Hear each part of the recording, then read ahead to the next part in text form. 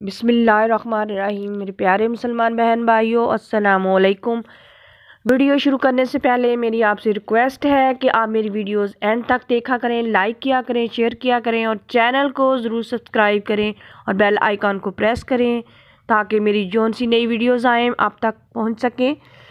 तो मेरे प्यारे मुसलमान बहन भाइयों, आज मैं आपको हज़रत अली रज़ी अल्लाह ताला और हज़रत फ़ातिमा रज़ी अल्लाह ताला का एक प्यारा सा वाक़ बताती हूँ।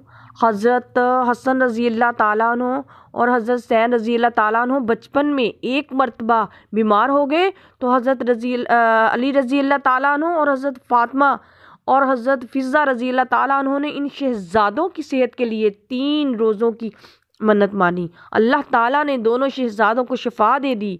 जब नज़र के रोज़ों को अदा करने का वक्त आया तो सबने रोज़े की नीयत कर ली। हज़रत अली रज़ी अल्लाह तु एक यहूदी से तीन सा जो लाए।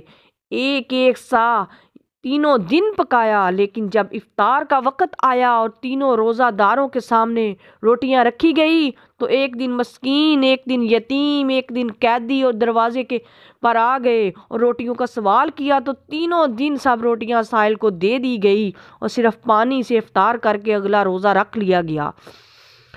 हज़रत फ़िज़ा रज़ी अल्लाह तु हज़रत बीबी फ़ातिमा रज़ी अल्लाह तु के घर की खादमा थी।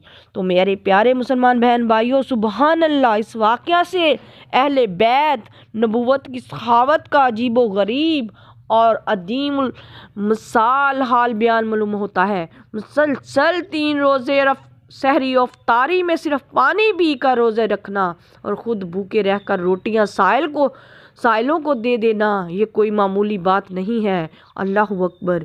किसी ने क्या खूब कहा है? भूखे रहते थे, खुद औरों को खिला देते थे। कैसे साबर थे मोहम्मद सल्लल्लाहु अलैहि वसल्लम की कराने वाले?